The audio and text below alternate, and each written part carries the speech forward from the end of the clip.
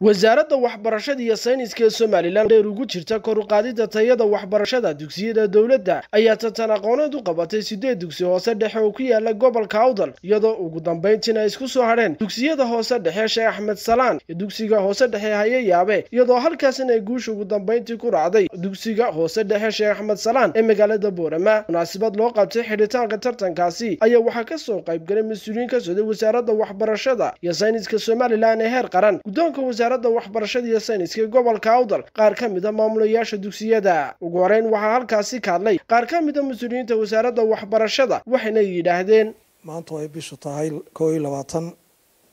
Waxaanu ku soo gabagabeynay magaalada boorame howlka wasaaradda waxbarashada ee gobolka awdal. Tartan muddo toban cishaa u socday. Ardayda dugsiyada hoose dhexe ee degmada boorame gaar ahaan iskuullada dowladdu gacanta ku hayso ee publiga tan waxaan kula talin lahaa markaa maamulayaasha in dugsi walba gudihiisa uu qabsado marka hore si ay ugu tartarmaan.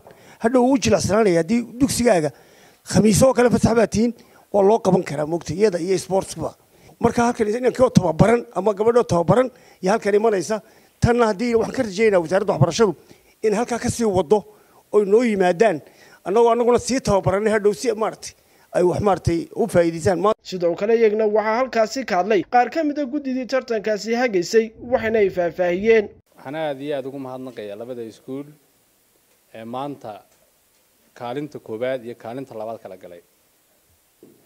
Darajo fiican baa soo gaadheen. Tartankan oo inoo bilaabmay lix iyo tobankii bisha. Dee heerkaa waxaad ku soo gaadheen waxa aad ka soo badiseen lix iskuul. Marka kiina kaalinta labaad galay iyo kiina kaalinta koowaad galayba labadiina waad guulaysateen waxa weeyaan tartan aqooneed oo lagu eegayay dugsiyo sideed ah oo ku yaalla magaalada boorame. Runtii dadkaasi carruurta oo ubadkeennii ah oo mustaqbalkii berrita ah oo dadkii dalkan ka noqon lahaa dhakhaatiirta soo socda injineerada macallimiinta dadkii noqon lahaa ah runtii aada iyo aad bay sharaf inooga mudan yihiin. Sida qiimaha ley hawshaa uga qayb galeenna aad baan uga faraxsanaya waanan ku hambalyaynaya tartankana sidaasaanu ku geynaynaa maaragtay warbixinta waxaan idiin rajaynaynaa guul iyo tacliinta ood sidaasi u sii wadaan.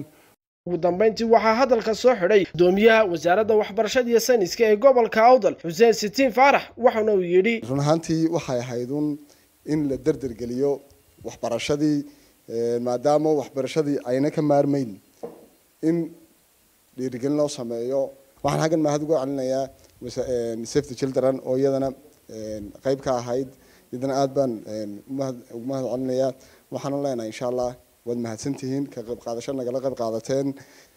Waxaan insha allah rajaynayaa in ay dugsigaa noo guulaystay ee sheekh axmed salaan uu nooga qayb galo dugsi insha allah tartan ay noo soo qabanqaabiyaan wasaaraddeena dhexe tartan heer qarana intaasi kadib waxaa halkaasi lagu abaalmariyey dugsiyadii hoose dhexe ee galay kaalmaha koowaad iyo labaad maxamed xasan ismaashad bere wararka telefishinka sahan magaalada boorama